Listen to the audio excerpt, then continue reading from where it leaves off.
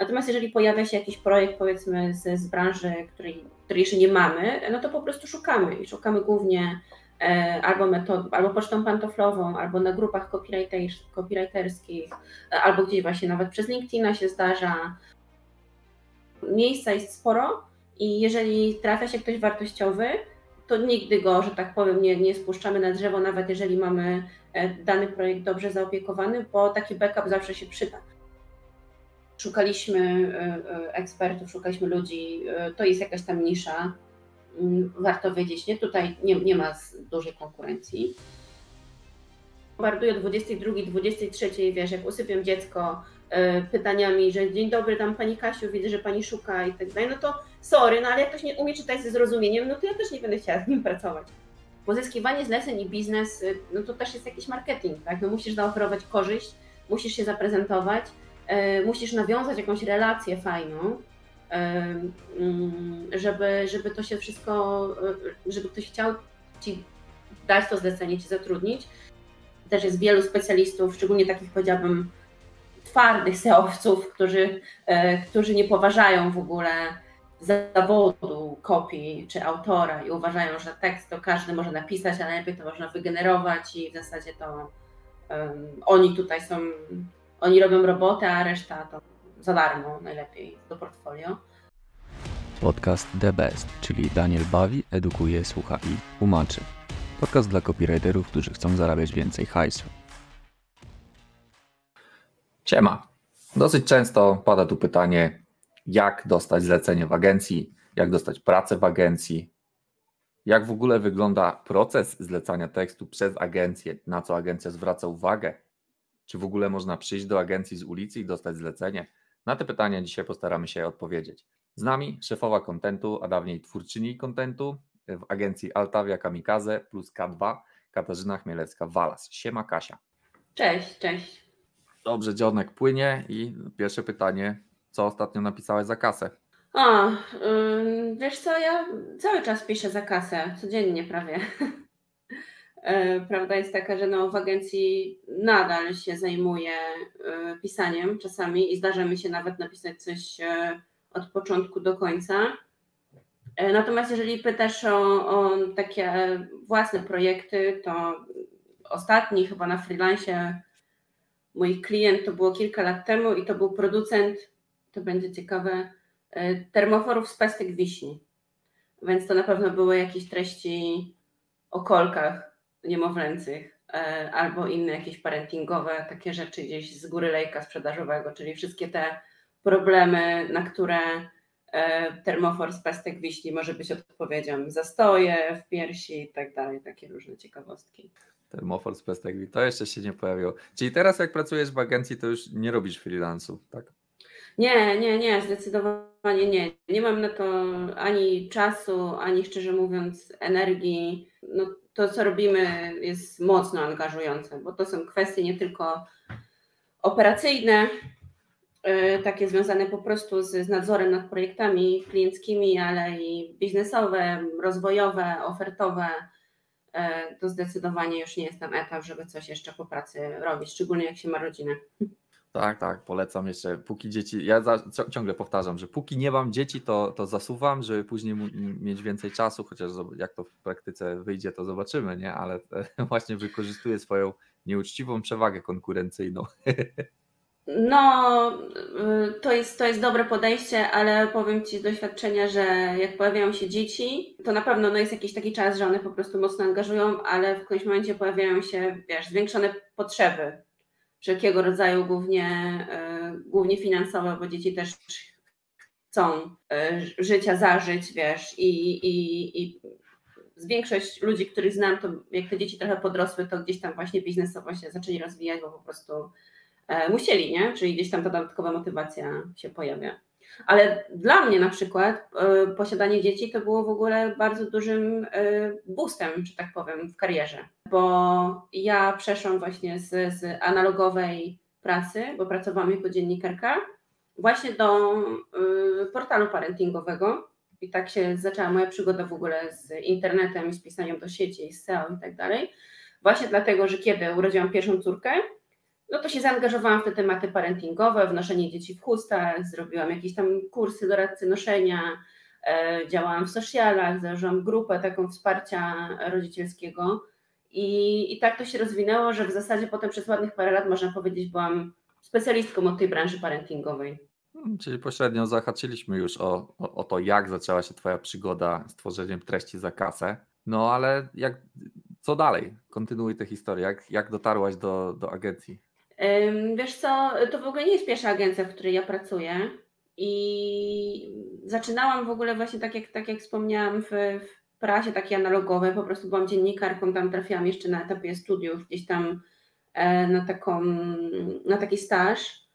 E, i długo pracowałam e, w łódzkich tutaj moich regionalnych gazetach i w Gazecie Wyborczej, w grupie Polska Press, w Dzienniku Łódzkim, i właśnie tak jak mówiłam, znaczy to w ogóle trafiłam tam też w takim momencie, gdzie to już trochę się czuło, że to jest początek końca pracy, analog, e, pracy analogowej, bo e, jak zaczynałam pracę, pamiętam w Dzienniku Łódzkim, to w serwisie internetowym Dziennika Łódzkiego wrzucano PDF-y e, wydań gazet z poprzedniego dnia i w tym momencie no to się zmieniło, to znaczy zaczęliśmy tworzyć treści, ludzie zaczęli je konsumować, ludzie zaczęli oczekiwać w ogóle tych darmowych treści, my się zaczęliśmy uczyć w ogóle web, web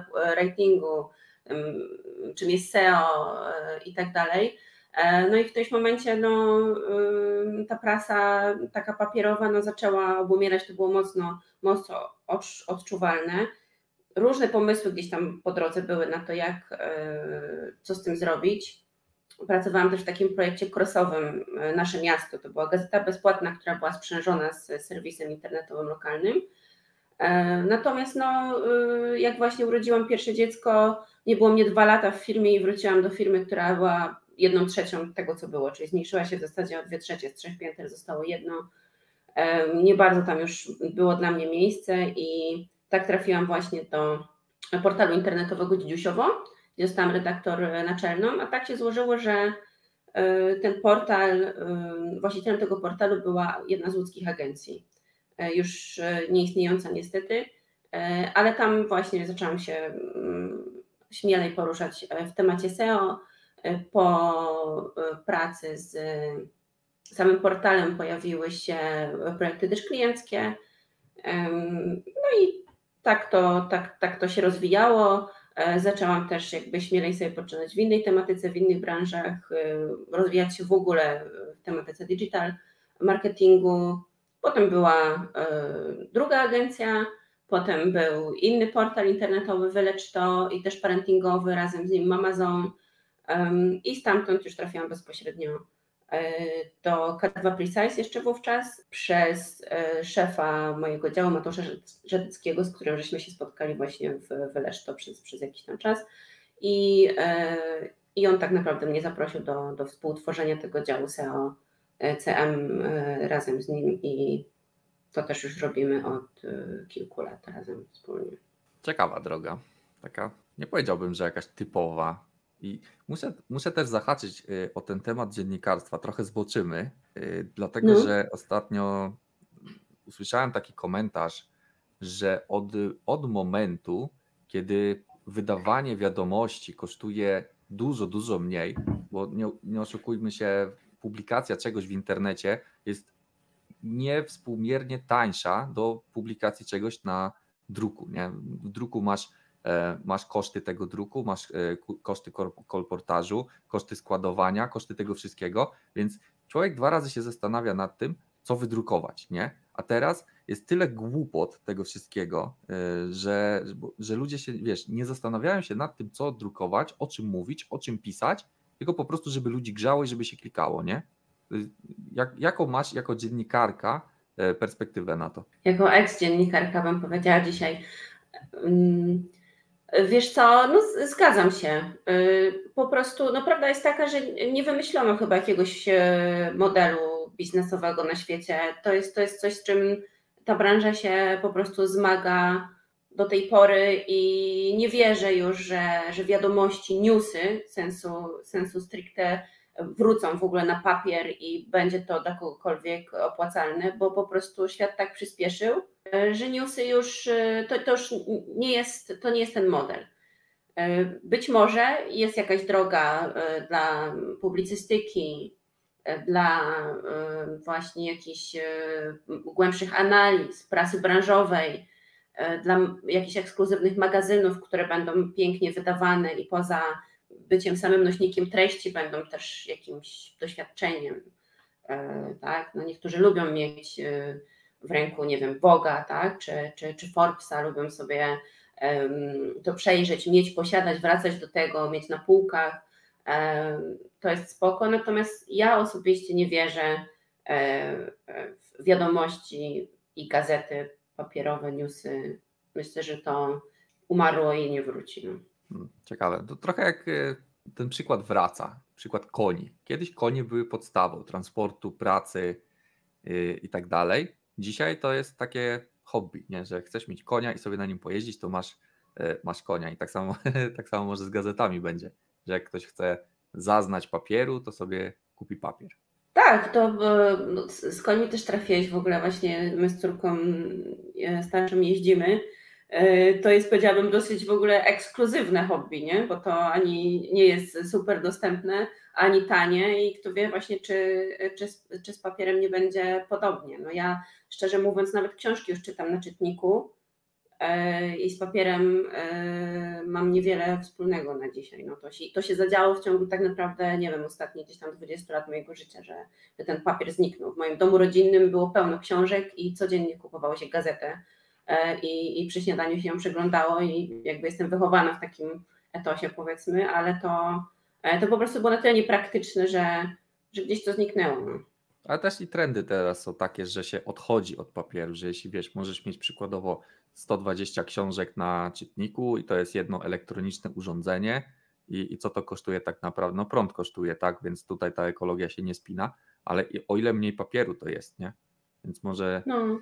E, może, może w tę stronę ten, ten biznesowy sens, e, a my do biznesu wracamy, dlatego że o tym biznesie będziemy dzisiaj rozmawiać, o biznesie agencyjnym, mhm. Dlatego że to może ludzi trochę interesuje, a może nawet trochę ludzi grzeje. Czyli jak to z tymi agencjami jest i jak w ogóle w takiej agencji zlecenie można dostać? Mm, powiem Ci tak, no, ciężko mi mówić za innych. Mogę powiedzieć, jak to u nas wygląda.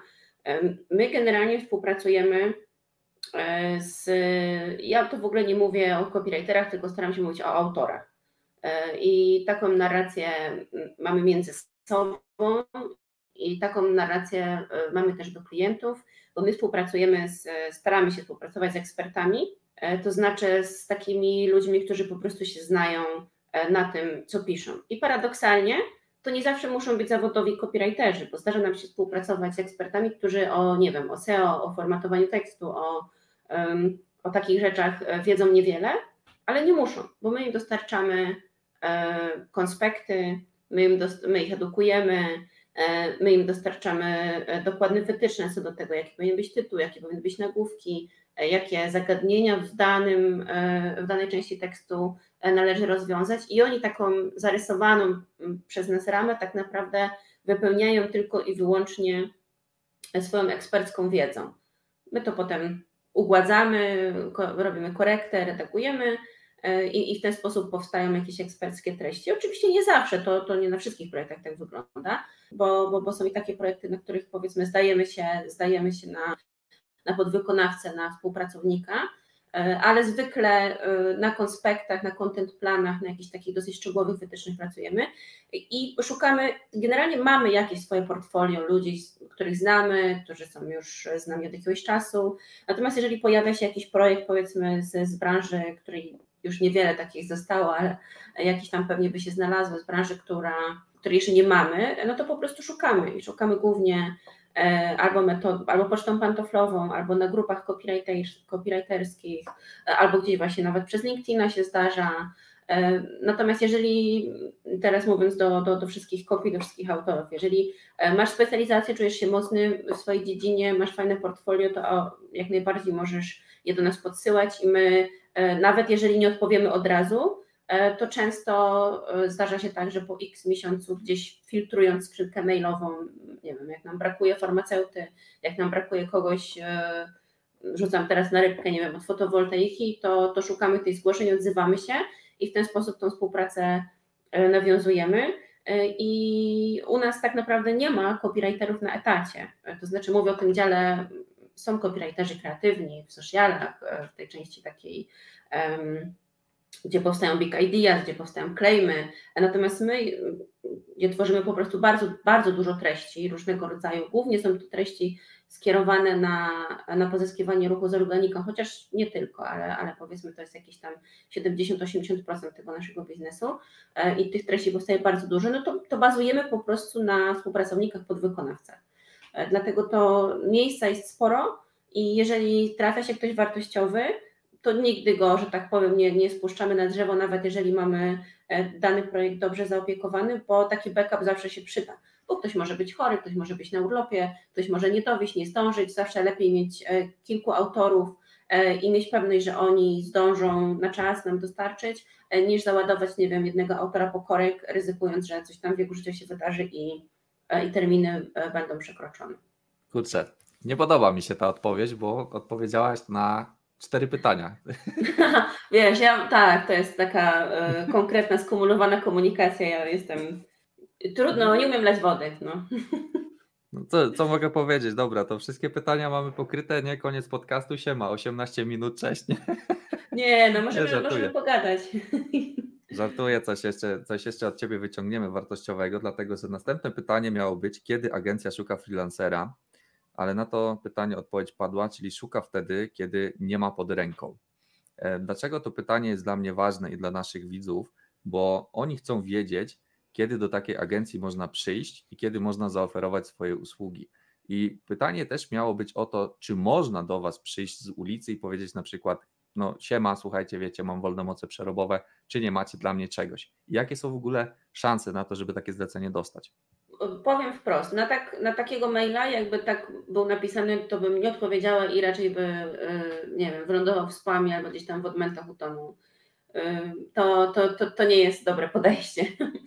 E, I generalnie jak zgłasza się tam też ktoś, kto pisze, że jest super kreatywny, uwielbia pisać, to jest jego pasja od dziecka i poradzi sobie z każdym tematem, tylko dajcie mi szansę, no to sorry, ale nie. To no, staramy się, szukamy, szukamy profesjonalistów i po prostu nie, nie tracimy czasu na, że tak powiem, wychowywanie tych, tych współpracowników, podwykonawców, bo, bo nie mamy na to czasu, kasy i space'u w ogóle. Więc jeżeli zgłosisz się i powiesz, e, jestem świetny w pisaniu o nawet, nie wiem, meblach na wymiar, albo o klimatyzatorach, albo o podkaszarkach, albo nawet, bo naprawdę mamy, mamy klientów, gdzie niektóre teksty są na tak wysokim poziomie specjalizacji, że nie wiem, elektronarzędzia, kleje do tapet i, i takie rzeczy też są do zaopiekowania, nie mówiąc już o jakichś tematach medycznych, zdrowotnych, które są no, studnią bez dna.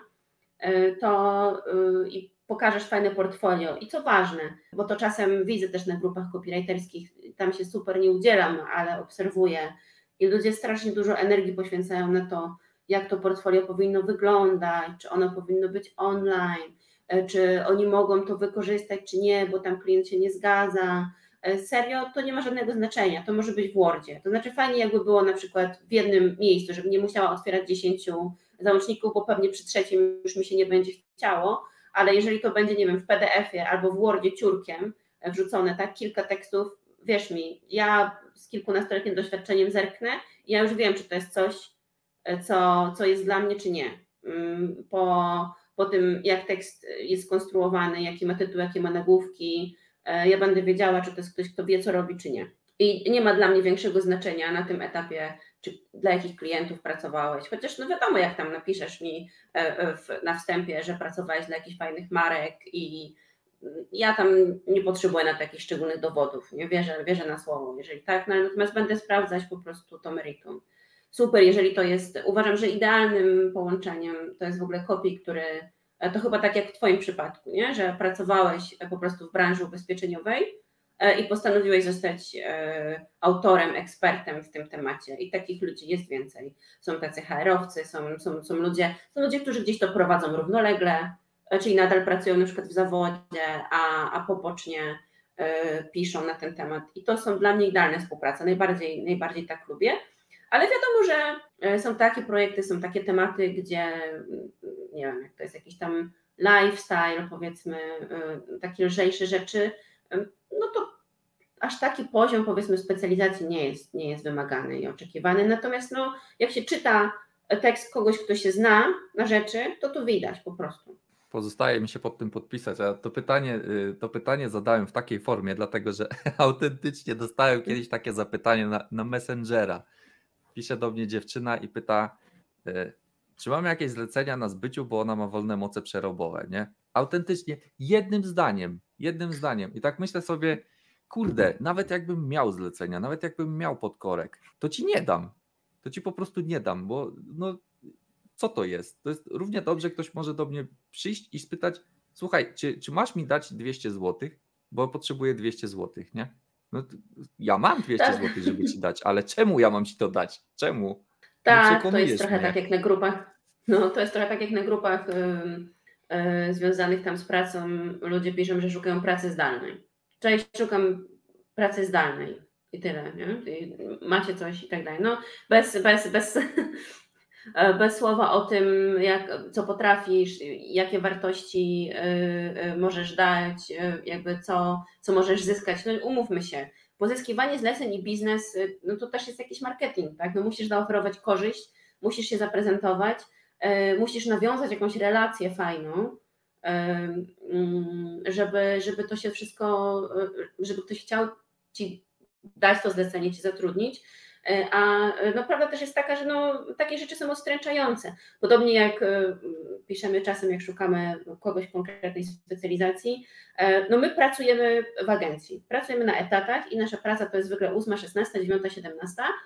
I jak piszę, że poproszę na maila zgłoszenia z portfolio i stawką, E, i proszę nie pisać na Messengera, to e, jak ktoś mnie bombarduje o 22, 23, wiesz, jak usypiam dziecko e, pytaniami, że dzień dobry, tam pani Kasiu, widzę, że pani szuka i tak dalej, no to sorry, no ale jak ktoś nie umie czytać ze zrozumieniem, no to ja też nie będę chciała z nim pracować, nie? Mimo, chociaż no wiesz, na dwoje babka wróżyła, ktoś może powiedzieć, o, ktoś ma siłę przybicia, ktoś jest taki zdeterminowany, może, może komuś to jakoś tam zaimponuje, no myślę, że jak widać maila, że to jest mail jakby służbowy, to nie jest trudno wykoncypować, że no ktoś pracuje w jakichś tam zamkniętych ramach czasowych i chciałby e, no, mieć jakąś tam prywatność, że ten messenger to też nie jest jakby firmowy, nie wiadomo, że to ci tam e, piłka na telefonie, że, że to nie jest fajne. Może za dużo oczekuje, no nie wiem, powiedz, czy zaśmiałeś się, więc chyba czajesz o co chodzi. E, kisny bekowy segment naprawdę. Nie, tutaj mam tipa, że jeżeli ktoś ma taką potrzebę o 22 napisać do potencjalnego zleceniodawcy, że mam wolne moce przerobowe, nadaje się do tego, nadaje się do tego zlecenia, nie, że po prostu istnieje, ma puls i, e, i, mo, i może pisać, tylko nadaje się do tego zlecenia, to można zrobić taki myk. Szczególnie jeżeli jest prośba w, w ogłoszeniu, żeby napisać na maila. Ustawiasz sobie maila, w Gmailu nie wiem, ile procent osób teraz korzysta z Gmaila, podejrzewam, że większość, jest taka opcja, zaplanuj wysłanie. I ja z, niej, ja z niej korzystam. Ja nie chcę pokazywać na przykład klientom, bo ja pracuję sobie po weekendach, ale nie chcę, żeby klienci się do mnie po weekendach dobijali. Więc ja nie wysyłam maili w sobotę, że no y, tutaj skończyłem tekst, proszę fakturę, no bo umówmy się, ani ja nie chcę pracować w weekendy e, koniecznie, ani mój klient też nie będzie w weekend odpisywał mi na maila, szczególnie z fakturą. Więc ja to sobie ustawiam na poniedziałek na ósmą. I wtedy klient sobie przychodzi e, w poniedziałek do, e, do biura, siada do komputera, odczytuje maile, pyk, jest mój mail 8 rano. Można? Można. A jeżeli zawracasz komuś dupę o 22, no to. Jakby... Zgadzam się. I uważam, że to tak. jest w ogóle mega profesjonalne i robię podobnie. To znaczy, nawet jak właśnie, już, a już szczególnie w agencji, gdzie pracujemy, nie chcę wyjść na desperatkę i nie chcę, żeby e, ktoś wiedział, że ja tam kurczę zlecenie kończę o 23, albo że, że jesteśmy to trochę taki, e, może nie powinnam, ale nie chcę, żeby też klient wiedział, że kurczę pracujemy po godzinach, e, bo powinien mieć takie poczucie, że my jesteśmy profesjonalni i mieścimy się, mamy wszystko dobrze zaplanowane i, i tak dalej. On nie musi tego wiedzieć, nie? Że, ja, że ja to skończyłam o 23. Dużo lepiej to wygląda, jak ten mail będzie wysłany następnego dnia, nawet o tej 7 rano. Bo dużo lepiej wyglądać jako potencjalny zleceniobiorca, że nie wiem, wstajesz wcześniej, pracujesz ten, niż że pracujesz po nocach, nie?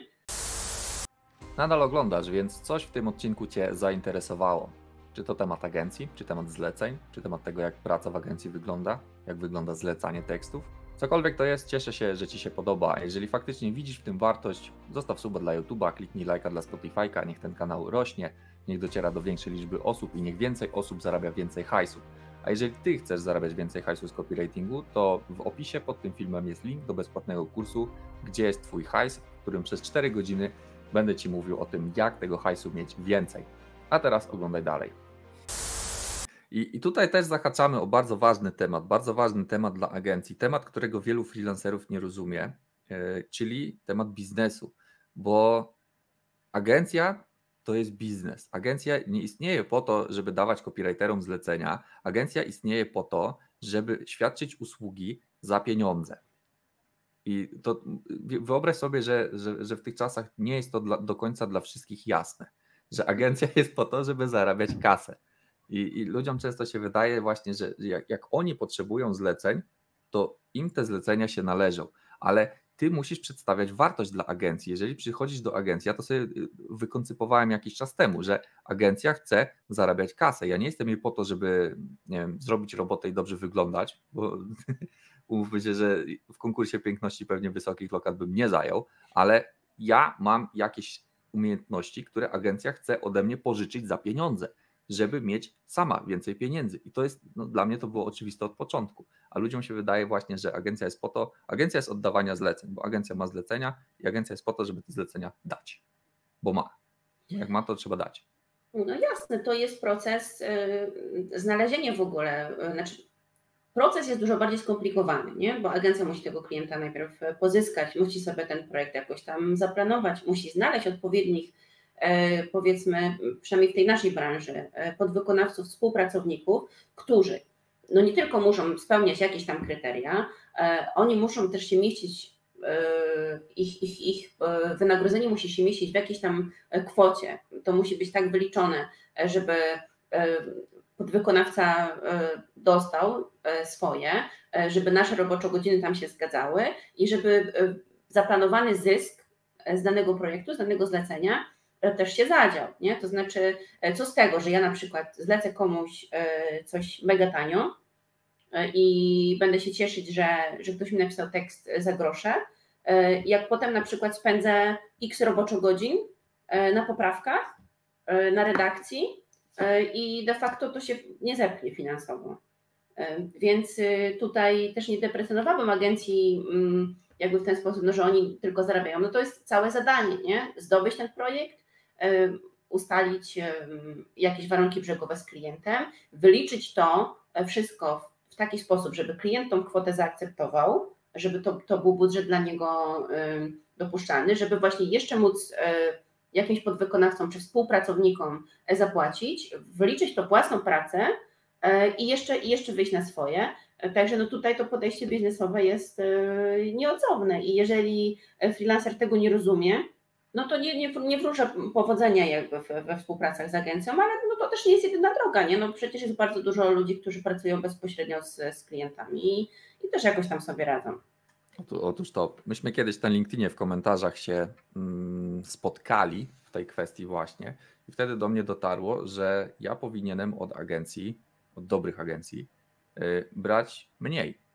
Dlatego, że odpada mi ta cała logistyka. Ja tylko dostaję wytyczne i mam tylko coś wykonać. Więc jeżeli agencja bierze, to, to było w czasach szczególnie wtedy, kiedy, e, kiedy obsługa klientów dawała mi się we znaki, te wszystkie briefingi, rozmowy, poprawki, e, cholera wie co jeszcze, nie? Dawało mi się to we znaki i myślę sobie, kurde, żeby tak ktoś to ze mnie zabrał. I myślę, agencja, agencja. Więc ja oddaję część swojej stawki za te przysłowiowe tysiąc znaków za to, że agencja się będzie użerać z klientem, że agencja będzie ściągać z niego kasę, e, że agencja będzie mu tłumaczyć, że nie możemy tego zrobić tak, tylko musimy to zrobić tak, e, że w ogóle agencja pozyska tego klienta. Ile to jest roboty, ile jest roboty z pozyskaniem klienta? Niech mi któryś freelancer, copywriter powie, że pozyskanie klienta jest łatwe nie jest łatwe na żadnym poziomie. I dla agencji, ani dla małej, ani dla dużej y, to jest, to, to jest bardzo dużo, to, to jest czas, który się inwestuje, już nie mówiąc w ogóle o postępowaniach przetargowych w przypadku dużych projektów. Y, serio, y, są przetargi, które się ciągną miesiącami. Miesiącami, to są zainwestowane roboczo godziny, wielu specjalistów często, bo to są strategie wielokanałowe, czasami na, na pełną obsługę, gdzie zaangażowanych jest czasami kilkadziesiąt osób. E, to są spotkania z tym klientem, to, są, to jest właśnie najpierw brief, debriefing, e, spotkanie przetargowe, potem negocjacje, e, potem strategia. To, to, są, to też jest pytanie, dlaczego duzi pracują z dużymi, no bo dużych po prostu na to stać, żeby zainwestować, zaryzykować. Wracając do tego, co, co, co mówiłeś, to też jest tak, że ja na przykład zamawiając tekst u ciebie, E, płacę ci zwykle w systemie, jakby pewnie rozliczamy się do końca miesiąca, e, to co, to, co zrobiłeś w danym miesiącu podsumowujemy i, i dostajesz na początku kolejnego miesiąca za to wynagrodzenie. Natomiast kiedy my dostaniemy za to wynagrodzenie, to już jest po naszej stronie. Czasami proces akceptacyjny się ciągnie tygodniami, to jest jakaś część większej całości i to, to, nasza, e, to nasze wynagrodzenie jest odroczone bardzo długo. Czasami klient do tego siądzie po miesiącu i dopiero ma jakieś uwagi, i ja serio już nie będę wracać do Ciebie z tymi uwagami, e, no bo kurczę, ja to przyjęłam, zapłaciłam, zlecenie jest zakończone, e, a wierz mi, że duży, duzi klienci tak potrafią robić, potrafią e, zamówić paczkę tekstów i wrócić po sześciu miesiącach z poprawkami. Bo na przykład planowali sobie, nie wiem, start jakiegoś nowego serwisu, dla nowego produktu i, i dopiero coś tam się deweloperom przeciągnęło i oni dopiero po sześciu miesiącach te teksty wrzucają na stronę i wychodzi im, że w zasadzie to chcieli trochę coś innego, tu proszę poprawić. I co my wtedy robimy? No my nie mamy wyjścia, nie? E, bo my e, po pierwsze, no, e, mamy jakiś, jakąś politykę w ogóle współpracy z tymi, z tymi klientami, mamy jakąś renomę, nie możemy sobie pozwolić, żeby powiedzieć, no trochę już za późno, teraz to sobie radźcie, nie? Bo my, no, tak się po prostu, no to agencji nie przystoi, nie? W ten sposób się zachować. Chociaż no, no pytanie, na ile to w ogóle biznesowo jest dojrzałe, fajne i profesjonalne tak, tak postępować. No ale musimy z tym, y, z tym sobie radzić i Ciebie to już nie dotyczy. To, że jest poza Tobą, Ty już masz pewnie ileś kolejnych zleceń do przodu i zapomniałeś. Mm, to się zgadza, ale padło takie stwierdzenie. To agencji nie przystoi. To o tym, co agencji przystoi, a co agencji nie przystoi, to bym chciał momencik porozmawiać. Miałem taki case i to też z dużą agencją i dla dużego klienta, gdzie agencja wróciła do mnie po pół roku z zamówieniem na treści. I po pół roku chcieli e, dać mi niższą stawkę niż miałem pół roku wcześniej. Co ja uznałem trochę za afront, bo ja przez te pół roku się rozwinąłem, też i portfolio rozbudowałem i no po prostu jestem lepszy, nie? E, niż, niż byłem, nie stoję w miejscu, a oni chcieli mi zaproponować niższą stawkę. I tu jest moje pytanie o to, czy jest jakaś granica, nazwijmy to przyzwoitości w tych negocjacjach? No bo ja rozumiem, że im mniej ktoś mi zapłaci, tym więcej później mu zostanie. Ale z drugiej strony na wstępie sugerować komuś, mówić wprost, słuchaj, uważam, że, że jesteś gorszy, albo uważam, że nie jesteś wart tych pieniędzy, czy coś, tym, czy coś w tym rodzaju. Co o tym myślisz? Myślę, że y, nie ma nic złego w tym, żeby zapytać i powiedzieć, słuchaj, warunki się zmieniły, mamy taki a taki budżet, czy w ogóle to wchodzi w grę, y, bo nie wiemy, co tam się wydarzyło z tym klientem, nie? To znaczy, może, może właśnie klient ostro negocjował, albo może agencja z jakiegoś powodu musiała te stawki obniżyć, nie wiem. Myślę, że to, wiesz, nie wiem jakiego rzędu to też było, no bo ja jak widzę, że, że, że ktoś ma stawkę 60 zł za 1000 znaków, to ja mu nie, nie zaproponuję 30, nie? To jest logiczne, że, że po prostu szukam wtedy kogoś innego i wiem, że no na tym projekcie po prostu się nie złapiemy, nie? Mogę zaproponować, powiedzieć, słuchaj, mam taki a taki budżet, powiedzmy mam 45 albo 50, ale gwarantuję Ci, że będziemy zamawiać, nie wiem, 5, 6, 10 tekstów przez następne pół roku, o ile mam pewność, że tak będzie.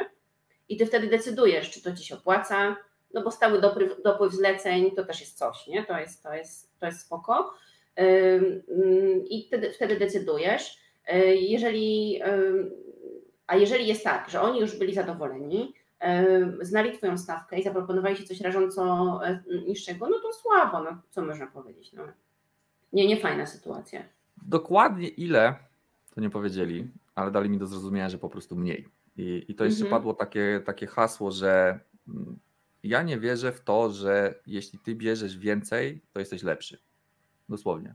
No ale to nie potrafią tego sprawdzić. No nie wiem, dla mnie to jest takie, y, no masz portfolio już robiłeś zlecenie, to no, dla mnie to jest jasne, no kurczę, no albo, albo cię stać, to, to jest tak jak z zakupem wszystkiego innego, albo cię stać na to, albo nie, możesz ponegocjować w granicach przyzwoitości, dla mnie granica taka przyzwoitości to jest, nie wiem, kilkanaście procent, nie?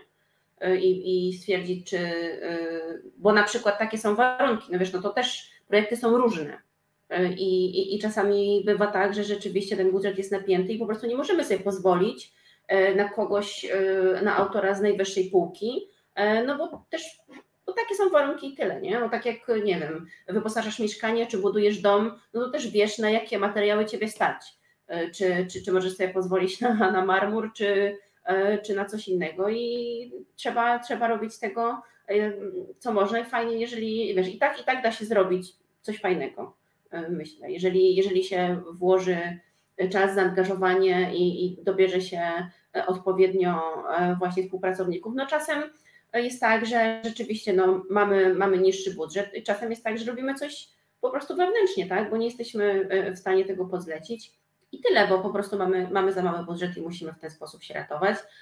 No w dobie, no na pewno rynek jest jakoś tam zepsuty, nie? I, i też jest wielu specjalistów, szczególnie takich powiedziałabym twardych seowców, którzy, e, którzy nie poważają w ogóle zawodu kopii czy autora i uważają, że tekst to każdy może napisać, a najlepiej to można wygenerować i w zasadzie to um, oni tutaj są, oni robią robotę, a reszta to za darmo najlepiej do portfolio.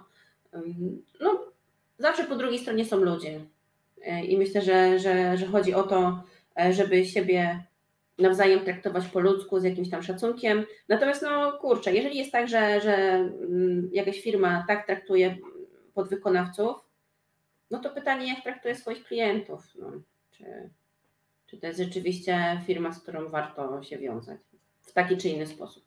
No i o tych klientów też trochę zahaczymy, dlatego że to, to będzie dowód anegdotyczny. Nie zdążyłem zrobić screenshota, ale widziałem na Good Contencie zlecenie dla bardzo dużego klienta, Właściwie to chyba mogę powiedzieć. To było zlecenie dla automarketu. Od agencji za 5 zł za 1000 znaków. Tekst na 5000 znaków, 25 zł za tekst. No i tutaj pojawia się kolejne pytanie, co tu się zadziało i pytanie, czy no ile tej przebitki, nie? No bo masz 5 zł za 1000 znaków od kogoś, no od klienta, jeśli weźmiesz mniej niż 40, to powiem, że coś poszło nie tak. No i tu znowu, gdzie jest tak, bo wiem, że wy na przykład tego pewnie nie robicie, że macie to obliczone, że ok, my y, bierzemy od klienta tyle, możemy sobie na podwykonawcę pozwolić na tyle, e, żebyśmy mieli marżę, żebyśmy mieli poopłacane rachunki, koszty pozyskania tego wszystkiego, że to wszystko jest po prostu skalkulowane, nie? I albo wychodzi Dokładnie. stawka od klienta, że klient daje X, więc my z tego X odejmujemy na ZUS, na PIT, e, na koszty, E, marże zostaje dla podwykonawcy. W tym budżecie szukamy podwykonawcy. Albo drugą stronę, nie wiem czy tak robicie, pewnie robicie, że mamy podwykonawcę za X, więc do tego X doliczamy e, marże, ZUSy, PITy, koszty, coś tam, coś tam, coś tam i tę stawkę przedstawiamy klientowi. I to jest dla mnie sensowne, nie? Ale z drugiej strony nie, nie lezie mi do głowy na przykład kasować z klienta 80 e, zł za 1000 znaków i zlecać coś po 5. Wiesz co, nie, nie wiemy, co to było za zlecenie. Wiem, że są agencje, które y, na przykład charge'ują za wynik i robią pozycjonowanie jakimiś tam linkami i po prostu skupują mega tanio teksty i y, inwestują mm, w jakieś linki i y, po prostu są umówieni z klientem za, za, na mm, wynagrodzenie za wynik. Nie? Więc oni będą zawsze tak robią jakieś, jakieś mniejsze takie agencje, powiedziałabym, pozycjonerskie y, i oni najprawdopodobniej będą zawsze dążyć do tego, że żeby zainwestować jak najmniej. Tak, tak, to może, tak to może taki przypadek. Natomiast no, czy, czy, czy to fajnie, że, że mówią dla jakiego klienta i czy klient się w ogóle na to zgodził, jak to wygląda w ogóle PR-owo, wizerunkowo, nie? że, że to, to są pytania bez odpowiedzi. Nie?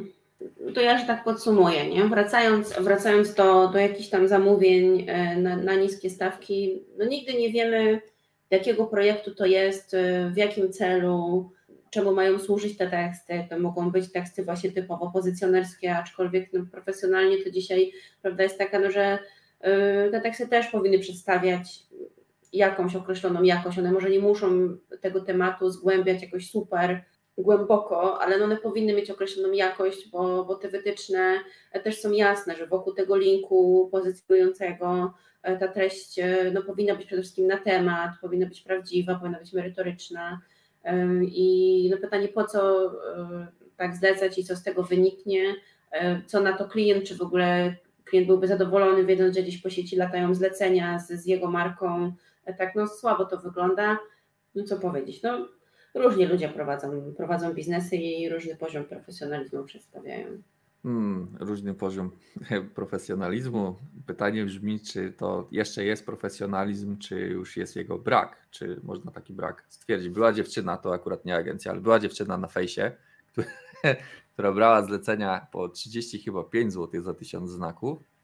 Następnie to zlecenie pojawiło się na Uzmi za 5 zł za 1000 znaków i klient, który to zlecenie zlecał, podstawił swojego ziomka na Uzmi i wziął to zlecenie e, i ten ziomek wysłał tekst jeden do jednego z czata GPT, a ta dziewczyna wzięła ten tekst i zaniosła do klienta za 35 zeta, nie? I klient wszedł na Face'a, mam, mam, odcinek podcastu o tym, nie?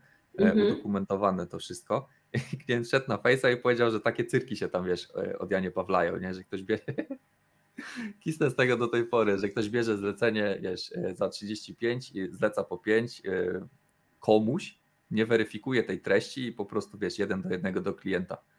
Tylko no, myślę, że tu jest kwestia chyba moralności, standardów, nie wiem. No generalnie ja ci powiem, że, że jak ktoś przychodzi do mnie do pracy w, w zespole, to jedna e, z pierwszych zasad, o których mówię, i to powinno dotyczyć tak naprawdę każdej pracy. Nie forwardujesz żadnych rzeczy bez zobaczenia, co tam jest. Niezależnie od tego, że to jest zlecenie, czy to jest, nie wiem, nawet wewnętrznie w firmie jakiś dokument, e, czy to jest e, no w ogóle zlecenie, to już absolutnie, nie? Czy my w ogóle jeszcze tym pracujemy, redagujemy i tak dalej. Więc no nigdy nie ma takiej sytuacji, że robimy forward e, maila, wiesz, od freelancera i rzucamy to po prostu do klienta, już abstrahując od tego, że nie w tej formie w ogóle te teksty lądują klienta, ale no nawet nie wiem, czyjaś wizytówka, jakiś dokument, prezentacja, po prostu takich rzeczy się nie robi, nie forwarduje się maili bez sprawdzenia, co tam, co tam jest, bo, bo różne mogą być tego konsekwencje. No i tu, tu właśnie konsekwencje były takie, że, że klient się wiesz, zeźlił i podstawił ziomka. Mówię, świetny, świetny bait, ja chyba to kiedyś też zrobię, bo jest jeszcze paru takich specjalistów e, na tych Facebookach, także specjaliści, ale oni tu nie mhm. zaglądają na ten kanał, bo tu trzeba, wiesz, siąść, posłuchać, obejrzeć, nie mają na to czasu, wiesz, cały czas są zlecenia, zlecenia, zlecenia, chat GPT robi brrr, jak w tych memach, nie? Ale z agencjami jest jeszcze jedna kwestia, którą chciałbym poruszyć, bo jest parę agencji, mówiąc delikatnie, owianych złą sławą e, w naszej branży. Są agencje, które dużo wymagają, mało płacą. Są agencje, które potrafią się znęcać, nawet nie zapłacić na czas albo nie zapłacić w ogóle.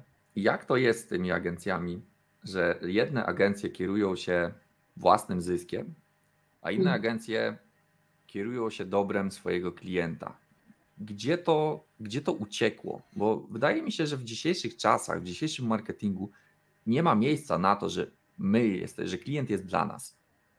Ja mam takie wrażenie, nie wiem, może jestem naiwny, ale wydaje mi się, że, że dzisiaj będzie coraz większy nacisk na to, że to my jesteśmy dla klienta, że my mamy dowieść klientowi efekt, my mamy dowieść klientowi wynik, my mamy zrobić robotę i wtedy klient za ten wynik nam płaci, za jakiś wynik, cel biznesowy, nie? a nadal i co chwilę to, zresztą jesteś na LinkedInie, na Facebooku, co chwilę to wychodzi, że jakaś agencja przyszła, nie wiem, zrobiła SEO na jakieś long taile, których nikt nie szuka w internecie, raporcik, wiesz, pozycję top 1, świeci się zielono, tu jest faktura, ale biznesu z tego nie ma. Ciekaw jestem w ogóle, co się dzieje na, za, na zapleczu agencji, że jedna agencja postanawia, brzydko mówiąc, orżnąć klienta, a druga postanawia na przykład zrobić dobrą robotę, y, o czym wiemy oboje, że wy taką robotę robicie. E, no, miło mi, że tak mówisz, natomiast wiesz, e, to też nie jest tak, że, że my mamy, że ja na przykład w swojej karierze zawodowej miałam 100% zadowolonych klientów. E, to, to, to może będzie dziwne i mało takie, nie będzie to super reklamą, no ale zdarza się, nie? Że, że są projekty, które jakoś tam się nie udały, że klient jest niezadowolony i ta współpraca gdzieś tam się zakończyła. Nie było tego dużo, ale e, były takie przypadki. To wynikało z wielu mm, różnych, różnych przyczyn. E, czasami to było jakieś niedogadanie się na poziomie potrzeb e, i oczekiwań. Czasami mm, to było jakieś odgórne na przykład wyznaczenie jakichś KPI-ów, które, które były być może nierealne na, e, na danym, skonfrontowane powiedzmy z tym budżetem, to, to było nierealne. E, natomiast no, mamy też takich klientów, z którymi pracujemy od lat e, i ta współpraca jest udana i klient też rozumie, że w tej w SEO są górki, dołki i, i że trzeba działać cały czas, że ważne, żeby to było spójne, żeby to było konsekwentne, żeby robić swoje i nie zawsze, e, nawet pomimo tego, ten wynik jest taki, jak tego oczekujemy. Natomiast ten problem, o którym Ty mówisz, może wynikać z tego, że wybór agencji, e, czy, czy, czy w ogóle zlecanie e, różnych działań przez firmy i w przetargach i tak dalej, po prostu nadal w większości tych przypadków głównym kryterium jest cena. I przez pryzmat ceny głównie ocenia się te oferty. Więc, żeby się przebić i żeby tego klienta złapać, żeby w ogóle jakiś flow biznesowy w firmie był, no to te oferty są często po prostu żyłowane, to znaczy zaniżane jest, zaniżane jest to do bardzo, bardzo niskich jakichś tam e, kwot i potem agencja się boryka z takim problemem, że no musi jakoś to zrealizować, a E, budżet ma jaki ma, więc szuka, żeby, żeby zrobić jak najtaniej, najprawdopodobniej e, to gdzieś tam nie wystarcza. Tak? Albo jeżeli mówię, że tam jakieś long taile, których, których nikt nie szuka, no nie wiadomo na co, na co klient dał akcept. To znaczy zwykle jest tak, że my te frazy, te frazy się jakoś tam wybiera, my możemy doradzić, ale często jest tak, że klient mówi, że chce taką frazę i już i, i albo takiej nie chcę z jakiegoś tam innego powodu, bo to mnie nie pasuje. Więc to, to różnie bywa i myślę, że najfajniej jest, jak y, taka współpraca się opiera na jakimś, przede wszystkim na rozmowie, na wzajemnym jakimś porozumieniu, y, kiedy wiemy, po pierwsze ustalimy sobie właśnie do czego dążymy, w jaki sposób, zrobimy sobie jakiś timeline w tym, właśnie jakieś realne KPI, y, dogadamy się, Natomiast no kurczę, to też się zdarza po stronie klienta, że nie wiem, zmieni się szef marketingu, zmieni się zarząd, e, postawią na coś innego, chcą zmienić podejście e, i też tak bywa, nie? I że mówią, dobra, no to my nie będziemy tego robić w ten sposób, agencji dziękujemy, idziemy, nie wiem, tam do jakiegoś znajomego albo do kogoś z jakiejś innej agencji, z którą mieliśmy fajną relację gdzieś tam w poprzedniej, poprzedniej pracy, albo w ogóle się wycofujemy z tego SEO, bo to nie działa i walimy wszystko w media, w paid social, w adsy, e, bo to nam, to jest bardziej przejrzyste, to łatwiej zaraportować. E, no, SEO nadal jest takim działaniem, gdzie tam no, bez zrozumienia tematu trudno odbierać te działania, tak? To musi być, a agencja też, no niektóre agencje zamiast właśnie edukować klientów, mówić to przejrzyście i tu tłumaczyć, co na czym polega, no to starają się właśnie to wszystko tak zamazać, żeby do końca nie było wiadomo, co jest robione, bo to właśnie pozwala taką współpracę gdzieś tam przeciągnąć miesiącami i kasować te, te faktury pomimo, pomimo braku wyników i yy, no, to, to, to nie jest łatwe. No, na projektach nam się też zdarza, że robimy wszystko z, z najlepszą wiarą, a te wyniki nie przychodzą tak szybko, jakbyśmy chcieli, albo nie są e, takie, e, jakich byśmy oczekiwali. I pytanie, czy klient ma cierpliwość i zaufanie, żeby na przykład e, dać czas i space na to, żeby zmienić strategię, czy, czy zmienić podejście, czy żeby kontynuować i czekać. E, no różnie to bywa. Powiedziałaś, że, że te, to, ten brak stuprocentowego zadowolenia klientów to nie będzie dobra reklama, ale ja tutaj stanę w opozycji i uważam, że to właśnie będzie dobra reklama, bo y, nie należysz do osób, które będą zaklinać rzeczywistość, że my zawsze dowozimy bo od tego to już wiesz, od tej takiej słodko pierdzącej narracji mnie się już na przykład robi niedobrze. Nie jest to możliwe, żeby w 100% zawsze dowozić. Jeśli ktoś tak twierdzi, to myślę, że ściemnia. Myślę, że po prostu ściemnia. No na pewno nie w tej branży, na pewno, na pewno nie w SEO. To jest tyle czynników, które są y, od nas y, niezależne, że y, szczerze, nawet do estymacji trzeba podchodzić naprawdę z, z dużym jakimś marginesem takiego, no że to, to jest estymacja, nie? To jest coś, co my, to jest trochę wróżenie, to jest coś, co my możemy, nie wiem, na, na podstawie jakiejś tendencji wzrostowej, która jest, albo działań wykonanych na innych projektach e, i przeniesienia powiedzmy e, pewnych rozwiązań. I tam pewnej dynamiki wzrostu, jeżeli mamy klientów nie wiem, z podobnymi serwisami, możemy powiedzieć, ok, tutaj to rosło w takim czasie, więc jest szansa, że uzyskamy takie a takie wyniki, ale no trzeba być ostrożnym tutaj, E, poza tym e, no, nie mamy wpływu na to, jak na przykład działa konkurencja i co w tym czasie zrobi. Może nas, może po prostu zainwestować gdzieś ogromne środki, żeby e, się w tym organiku przebić i no na, to, na to wpływu nie ma, ale jeżeli się robi rzetelnie, jest jakiś ogólnie zaakceptowany system raportowania, jest się w kontakcie z, z tym klientem, to, to nie powinno być problemu, ale powtórzę to, co mówiłam wcześniej. Po jednej i po drugiej stronie są ludzie. I jeżeli będziemy po ludzku ze sobą gadać, po ludzku ze sobą współpracować, to wszystko będzie ok. Natomiast no, jeżeli będziemy ściemniać, no to to prędzej czy później wyjdzie. No. Otóż to, otóż to. I to, to porozumienie, to porozumienie jest mega ważne i to, to zrozumienie i to, co powiedziałaś, co wybrzmiewa bardzo rzadko i bardzo słabo, czyli edukowanie klienta. Bo też myślę, nie chcę tutaj zwalać w 100% winy na agencję. Są agencje, które jak widzą, że klient jest niewyedukowany i nie wie, o czym się do niego rozmawia, to po prostu takiego klienta odpuszczą, nie? A są agencje, które pomyślą sobie, o, dobra, frajer kroimy, nie? Bo on nie skuma o co chodzi.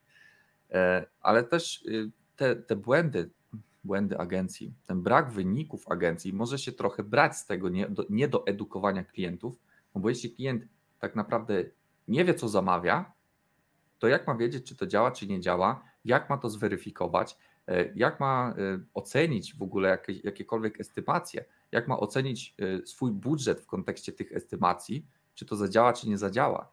Więc tutaj też słówko do potencjalnych klientów agencji marketingowych. Albo się edukujcie, albo weźcie sobie kogoś zaufanego, kto się na tym zna i kto wam po prostu to zweryfikuje, nie? Bo później, później jest ten argument, no widziały gały, co brały, tak? A że gały nie wiedziały, co brały. Czasem to jest jeszcze, jeszcze e, bardziej skomplikowane. To znaczy, na przykład e, gdzieś na poziomie tej osoby bezpośrednio decyzyjnej jest zrozumienie e, i jest współpraca, mm, jest jakaś kooperacja i tak dalej. Natomiast gdzieś wyżej na przykład pojawia się, OK, my wydajemy x pieniędzy od 6 miesięcy, nie ma z tego wyników, to ucinamy. Tak? I, i, I, często dostaje po głowie nawet ta osoba decyzyjna, czy, czy ta, która odbiera, bo, yy, bo gdzieś tam wyżej tego zrozumienia e, nie ma. I oczywiście klient ma do tego prawo, czy tam prezes, czy yy, tak, może sobie przetestować inne kanały i, i, i sprawdzić. Jak to wygląda. Takich klientów, powiedzmy, zupełnie zielonych, to już jest, myślę, bardzo mało. Ludzie, no jednak dzisiaj te marketerzy y, mają pojęcie o digitalu y, i o organiku, natomiast czasami to są jeszcze inne obostrzenia, tak? Jeszcze są, są, y, są branże, w których w ogóle trudno się robi, na przykład SEO, mówię tutaj na przykład, nie wiem, o, o farmacji, o medycynie, gdzie są bardzo duże obostrzenia w tym, co można powiedzieć, jak można formułować pewne treści. Czasami takie treści zrobione przez nas, e, jak przechodzą e, przez ileś tam działów nawet e, prawnych, jakiś R&D, R&D i okazuje się, że nie wiem, na taki claim nie możemy sobie pozwolić, tego nie możemy tak nazwać, nie wiem, takich fraz nie możemy użyć, okazuje się, że nam to, czego szukają ludzie, tak naprawdę gdzieś tam ucieka i, i lądujemy z jakimś takim trochę wodolejstwem, tak, żeby nie powiedzieć bo nie możemy powiedzieć na przykład, że coś jest skuteczne, czy coś leczy, czy coś działa, czy że coś jest na coś, tak, ludzie szukają, nie wiem, tabletki na ból, tabletki na alergię, a my nie możemy w ten sposób o tym pisać. To, to tak w skrócie. E, więc czasami to jest trochę, trochę bardziej skomplikowane. Mm, no wiesz, no są, dzisiaj jest bardzo dużo biznesów, które w ogóle e, nie inwestują w organik. I to też się sprawdza. Też można sprzedawać przez, przez media, przez sociale, e, można bazować tylko na, na płatnych reklamach. Natomiast no to, to pozostaje jakby, mm, jeżeli nie organik, ok, możemy mm, sobie powiedzieć, że nie, to, to nie jest ten nasz kanał, nie będziemy w to inwestować, bo to jest trudne, skomplikowane, ciężko to zraportować, ciężko to zbadać, e, kosztuje dużo, trzeba dużo czekać i, i tak dalej. Natomiast no, trzeba też pamiętać, że są, dzisiaj tych modeli zakupowych jest bardzo dużo i mm, sporo się mówi ostatnio, takie ROPO, czyli Research Online, Purchase Offline, czyli ludzie po prostu szukają na jakiś temat czegoś w sieci, a kupują to stacjonarnie, bo po prostu szukają gdzieś tam odpowiedzi na, na te swoje potrzeby, rozwiązanie jakichś problemów, nie wiem, szukasz pewnie, e, jak, jak pójdziesz kupić buty do biegania, no to z, z, z dużym prawdopodobieństwem kupisz je stacjonarnie, no bo będziesz chciał je przymierzyć, ale najpierw będziesz szukał informacji, nie? Najpierw będziesz chciał się doedukować i będziesz czytał, podobnie, nie wiem, z nartami na przykład, czy z jakimiś takimi rzeczami, ale na, nawet z drobniejszymi rzeczami takiego użytku codziennego. Dzisiaj ludzie wszystko researchują, chcą się doktoryzować na każdy temat, a jak pojawia się dziecko albo jakiś problem zdrowotny albo coś, no to, no to pytanie, czy możesz sobie pozwolić jako marka na to, żeby nie kontrolować tej narracji? Znaczy, czy możesz pozwolić sobie, żeby o Twoim produkcie, czy o Twoim rozwiązaniu, nawet jeżeli nie mówimy tutaj um, o marce samej, czyli um, żeby ktoś inny kontrolował tą narrację w sieci? Czy możesz sobie pozwolić, żeby być tam zupełnie nieobecnym i bazować tylko na przykład na sprzedaży stacjonarnej w takiej sytuacji? Ryzykowne, nie? Mm, to, to jest ciekawy case, nie? bo bardzo często ludzie, ludzie marki mówią, że nie chcą SEO. Tutaj wskazałaś bardzo poważny problem z, z raportowaniem działań SEO, mianowicie z atrybucją. Jak przypniesz zakup w sklepie stacjonarnym do tego, że, e, że ktoś przeczytał w internecie o Twoich butach? No trudno jest to zrobić, tak? Trzeba byłoby tego klienta na miejscu pytać, jak wyglądała jego ścieżka, co skłoniło go do decyzji. No, który klient ci to powie? Raczej nie chce, po prostu chce kupić buty i wyjść. Więc tu jest jakiś problem, ale to, co mówisz, ta kontrola narracji plus to, co to, co my publikujemy w internecie, świadczy, jakby nie patrzeć o nas. Nie? Jeżeli my dajemy wartość, to myślę, że ta wartość no, nie idzie w próżnię. Ja to często porównuję do, do sadzenia lasu albo sadu. Płatna reklama jest jak pójście do sklepu i po prostu kupienie jabłek. Nie? Płacisz, masz gotowe jabłka. No, przy założeniu, że, że ta reklama trafi do kogo ma trafić, czyli że ty trafisz na, e, na ten powiedzmy ryneczek i te jabłka znajdziesz, nie? Ale masz w miarę szybki rezultat i w miarę szybki feedback. Natomiast SEO jest bardziej właśnie jak sadzenie sadu. Te jabłonki nie dadzą owoców w pierwszym roku, w drugim, w trzecim, ale za powiedzmy 4-5 lat będziesz, miał, będziesz miała swoje jabłka i nie musisz nikogo o to prosić, tak? Czy, znaczy wiadomo, że nie, nie wiemy, czy te jabłka na przykład obrodzą, czy w którymś roku nie przyjdzie robak, e, czy nie będzie można ich pryskać, czy i to, to, to jest to, co później się pojawia w Google, te wszystkie aktualizacje algorytmu, że e, nagle tego nie można robić, tamtego nie można robić, odpowiedź musi być na górze, e, trzeba dane strukturalne, a potem nie trzeba danych strukturalnych, trzeba obrazki opisywać i w kółko się coś zmienia, więc to ta pielęgnacja sadu też jest trudna i zmienia się w czasie i nie jest powiedziane, że na przykład za 10 lat wszystkie drzewka nie będą do wycięcia. To jest bardzo trafna, trafna ale... metafora, e, dlatego że, że no, te treści właśnie trzeba pielęgnować, to znaczy nie wystarczy ich raz wsadzić i czekać aż, aż, aż obrodzą, bo um, dochodzi recykling, dochodzi jakaś aktualizacja, e, trzeba to cały czas jakby nie tylko dosypywać nowych, tak, ale dbać o to, co jest.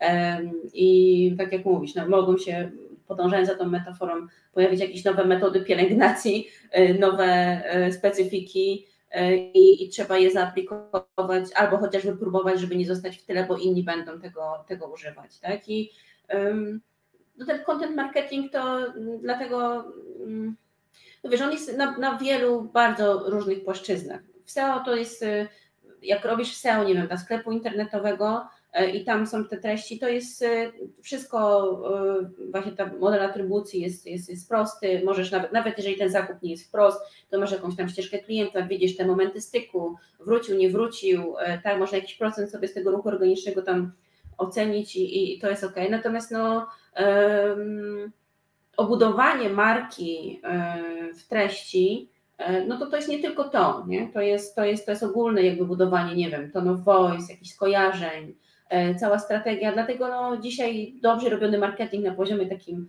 globalnym, jak ktoś wymyśla produkt, no to powinien przemyśleć wszystko od początku do końca, nie tylko e, na, jakie potrzeby ten produkt odpowiada, nie tylko to właśnie, żeby, nie wiem, choćby reklama w telewizji była spójna z, tymi treściami, które gdzieś tam w internecie będą za tym szły. Dzisiaj ludzie e, więcej, ludzie nie tylko czytają przed, jakby czytają To, to też jest trochę dużo powiedziane. Jakby szukają tych informacji, konsumują te treści, nie? Bo tych touchpointów jest przecież mnóstwo. Wideo wypiera treść też w tempie po prostu kosmicznym. Czy, czy czytają, czy skanują, czy po prostu obcują jakoś nie? Z, tym, z, tą, z tą treścią, ale też po, czyli kupią, a potem chcą sprawdzić, jak tego używać, jakie mogą być skutki, co można tego dokupić, czy są jakieś akcesoria. E, stąd te dzisiaj społeczności wokół marek, stąd dzisiaj społeczności wokół problemów i tak dalej. Rekomendacje, user-generated content, nie? no to e, poleciłabym jakby nie mieć złudzeń, że można mieć nad tym stuprocentową kontrolę e, i, i po prostu jakoś to łatwo i szybko ogarnąć, ale dopóki robimy to rzetelnie, dopóki te treści są merytoryczne, niezależnie od tego, jaką mają formę i na jakich są kanałach, e, to to prędzej czy później e, po prostu zaowocuje. Nie? Natomiast czy to będzie mierzalne, sensu, tak, w sensie takim zero-jedynkowym, no to różnie. To jest ten kolejny problem z raportowaniem rzeczy niemierzalnych, nie? No, no bo okej, okay, masz te kilkadziesiąt, kilkaset artykułów na blogu, jeżeli to nie ma bezpośredniego przełożenia na biznes, no to no ciężko stwierdzić, czy to działa, czy nie działa. Może się okazać, że te parę artykułów na blogu sprawiło, że ktoś zarabia więcej kasy, tylko nie chciało mu się, e, załóżmy, zostawić opinii na temat tego, że słuchajcie, wasz artykuł zarobił mi e, pieniądze albo skłonił mnie do zakupu. To trzeba tutaj, trzeba tutaj będzie dużo pracy, edukacji, cierpliwości, e, wytłumaczenie markom, że marki będą coraz bardziej istotne, jak nawet w kontekście tych AI overviews. Jak ludzie zastanawiali się, dobra, no to co teraz? To no, reklama będzie chodzić, nie? Ale co z SEO, kiedy tam będziesz, wiesz, mała jedną e, odpowiedź AI i tak dalej. I chyba Grzegorz Strzelec powiedział, że to, co pomoże markom przetrwać, to właśnie marka. Silna, silna marka, że, że ktoś nie będzie się zastanawiał na przykład nad tym, jakie buty kupić, tylko wejdzie po prostu na stronę Nike i kupi sobie Nike. No tak, ale to ten autorytet marki właśnie y, trzeba budować. Nie? To znaczy, to już y, w kontekście y, tych wyników wyszukiwania wspieranych AI-em, y, to niestety jest też zła wiadomość dla takich mniejszych, mniejszych graczy, y, dla jakichś domen z mniejszym autorytetem. E, one na pewno nie będą tak łatwo i tak chętnie wybierane do tych, e, do tych podpowiedzi. I tutaj właśnie takie long taile, rozwiązywanie konkretnych problemów, odpowiedzi na konkretne zapytania e, mogą być dużo bardziej przydatne. Stąd potrzeba jakby tej analizy zapytań, dopasowanie ich do rozwiązań, czyli do tych naszych produktów, umieszczenie gdzieś tam na, e, na etapie lejka, no to tym bardziej, że tak powiem, strukturalnie i tym bardziej strategicznie do tworzenia tych treści trzeba będzie podchodzić. Tak uważam. Ja się mogę z tym tylko zgodzić. To dobre podsumowanie chyba tej, tej naszej rozmowy i przechodzimy teraz do tych lżejszych pytań, czyli na przykład jaki najtrudniejszy tekst w życiu napisałaś? Czy taki tekst masz? Czy jest jakiś tekst, który wrył ci się w pamięć i będziesz go wspominać i dzieciom opowiadać i wnukom? Wiesz co, ja pisałam dużo, dużo treści medycznych i yy, był taki czas, że się śmiałam, że, że, że nawet już zaocznie to bym mogła takim lekarzem rodzinnym zostać, że powinni mi yy, to przyznać. Yy, I to były trudne rzeczy. Nie to, żeby to zrobić merytorycznie z czytaniem źródeł, takich wiesz, z, z jakichś analiz, badań, odwoływanie się do tych źródeł, wiesz, to nie, nie tylko to, że tam przeczytasz sobie pięć tekstów w internecie o kaszlu, y, wyciągniesz tego coś i przepiszesz swoimi słowami, e, tylko mówię tutaj o dużo, dużo trudniejszych y, przypadkach, to, mm, to było niełatwe. E, po prostu sama materia była trudna. Natomiast było też, były też teksty, w których właśnie na przykład e, trzeba było spróbować obejść pewne ograniczenia, takie dotyczące tego, że no nie możemy napisać czegoś w takiej formie, bo to nie przejdzie z powodów prawnych, bo w taki sposób na przykład, e, nie wiem, jakiś lek czy, czy jakiś preparat nie, nie, nie może być opisany, a żeby jednocześnie on gdzieś tam spróbował w tym, w tym organiku zawalczyć i to, to bywało e, rzeczywiście wyzwaniem. E, natomiast no, czy takie trudne, wiesz, no ja się też nie, nie będę ściemniać, no nigdy się nie brałam za rzeczy, o których nie miałam pojęcia, nie? To znaczy, jeżeli po prostu temat był jakiś trudny, no to szukałam eksperta takiego, który się na tym zna i dla kogo to, dla, tak, takiego, dla którego to nie będzie jakimś super wyzwaniem. Aleluja, w końcu ktoś to powiedział. Nie bierz się za rzeczy, na których się nie znasz. Ile, ile można o tym klepać, nie? Ja, I żeby nie było, że jestem święty w tym temacie, wziąłem takie zlecenie, wziąłem i bardzo nie chciałem go brać. Bardzo nie chciałem go brać, bo to było kompletnie poza moją specjalizacją, nie? Ale, y, ale zleceniodawca y, to było przez agencję, nie? I, I gość mnie poprosił, słuchaj Daniel, ja wolę dać to tobie, nawet jeśli się nie znasz, niż szukać kogoś, kogo ja nie znam. I no, wziąłem to i odpokutowałem to, musiałem to odpokutować naprawdę i od tamtej pory mówię, nie, nie ma bata, jeśli się na czymś nie znam, nie biorę, wołami mi nie zaciągniesz, także tutaj mogę Ci bić brawo i może kiedyś to, może to kiedyś dotrze. I jak już mamy najtrudniejszy tekst za sobą, to teraz najtrudniejszy klient, o którym możesz legalnie powiedzieć i chcesz. No nie mogę, nie, nie, nie, nie mogę. No wiesz, trudność, yy, możemy to tak obejść, że możemy powiedzieć, jakie są w ogóle, że tak powiem, płaszczyzny tych trudności z klientami. Bo to wynika, to, tak, to wynika z różnych rzeczy. Albo materia jest trudna, po prostu tematyka jest trudna, nie? Bo to są na przykład jakieś technologie, to są jakieś zaawansowane rozwiązania IT, telekomunikacyjne dla firm na przykład, nie? I to, to, to mamy takiego klienta i to są trudne tematy i jak to mam czytać, redagować, to po prostu zawsze ze świeżą głową biorę zawsze od rana, bo, bo to po prostu jest skomplikowane. I, ale mamy od tego po prostu, też szukaliśmy e, e, ekspertów, szukaliśmy ludzi, e, to jest jakaś tam nisza, warto wiedzieć, nie? Tutaj nie, nie ma dużej konkurencji, ale pewnie też nie ma zbyt wielu takich klientów. I to jest jedna trudność, po prostu trudna, trudna tematyka, w którą trzeba się wgryźć. Jak ja to mówię, no, na każdym kliencie czasami trzeba się doktoryzować e, z, z różnych tematów i to na przykład e, dla mnie osobiście to praca w agencji jest pod tym względem fajna, bo ja mam takie lekkie ADHD, lubię zmienność, potrzebuję, mam taki, lubię te zastrzyki dopaminy, potrzebuję zmieniać sobie, więc jak mam różnych klientów, wchodzą różni, różni klienci, to fajnie jest po prostu zmieniać tą tematykę, wgryzać się, doktoryzować się z, z każdego tego tematu po kolei. Dzięki temu można powiedzieć, że mam szeroką wiedzę ogólną, bo na każdy temat coś tam wiem, z obszaru przynajmniej tych klientów, których obsługiwałam. E, druga trudność e, e, kliencka to jest na przykład proces akceptacji treści. On czasami bywa, szczególnie w dużych korporacjach, szczególnie takich z kapitałem zagranicznym, gdzie global jest gdzieś tam w innym miejscu, i to przechodzi na przykład przez jednego marketera, e, potem przez jakiś dział prawny, e, albo na przykład jeszcze specjalistów od danych produktów, e, bo jest jakiś marketer ogólny odpowiedzialny na przykład za dany projekt, za daną aplikację, za dany serwis, potem idzie to przez właśnie marketerów od danych produktów, bo tam na przykład wspominamy o jakichś kilku usługach albo o jakichś produktach, urządzeniach i tam każdy ma swojego opiekuna i ten każdy opiekun musi zaakceptować każdy z tych fragmentów, żeby sprawdzić, czy to na pewno jest zgodne raz z prawdą, dwa z ich strategią marketingową i komunikacyjną. Potem na przykład idzie to przez dział prawny, który musi sprawdzić, czy, czy, czy treści marketingowe są zgodne z, z, z ich wytycznymi legalowymi. I to jest wyzwanie na poziomie po prostu jakimś tam operacyjnym, e, żeby mieć jednocześnie wyobrażenie o tym, e, co każda, każdy z tych etapów może przynieść i dopasować tam treść, takim opracować, żeby tam tych uwag było jak najmniej. Potem oczywiście nanieść e, te poprawki, żeby wszyscy e, byli zadowoleni i żeby ten tekst mógł e, w końcu gdzieś tam zaistnieć. To jest drugi poziom jakichś tam trudności klienckich, powiedziałabym.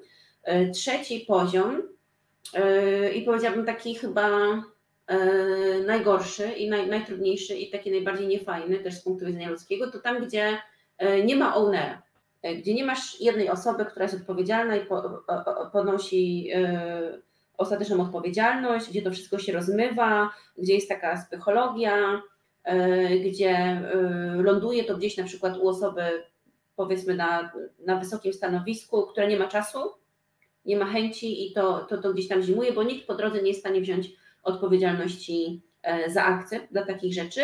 I to też jest duża trudność operacyjna i to jest w ogóle coś, co jest strasznie deprymujące, i, i zniechęca nie? Do, do pracy, bo ktoś odbiera, wysyła gdzieś tam, nie obchodzi go, co się z tym dalej dzieje, ty czekasz na odpowiedź, chcesz robić swoją pracę rzetelnie, kumulują się jakieś zaległości i, i, finalnie to, to, słabo idzie, nie? I nie ma tutaj prawa być, bo są opóźnienia, e, nikt nie bierze na siebie ostatecznej decyzji, więc nie ma tych wyników i, i po prostu nie fajnie się w takich sytuacjach e, pracuje. Więc to są takie, powiedziałabym, najważniejsze trudności klienckie.